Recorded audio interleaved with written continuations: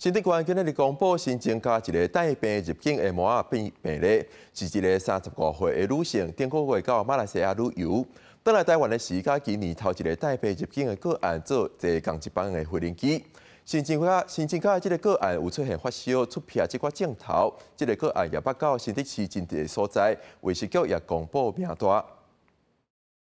该个案在三月五号的时候，在本市的迪卡侬和寿司郎都有用参与休闲。目前已经掌握工作人员名单三十七名，同时也针对店家所提供的名单，从三月五号到三月二十三号进行十八天的麻疹自主健康监测。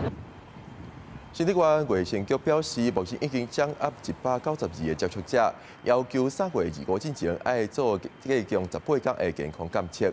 另外，三月初三到三月初五，民众若有到卫生局公布一地点，建议要做自主健康管理。若有发烧、出片、惊光即款镜头，要主动联络卫生单位。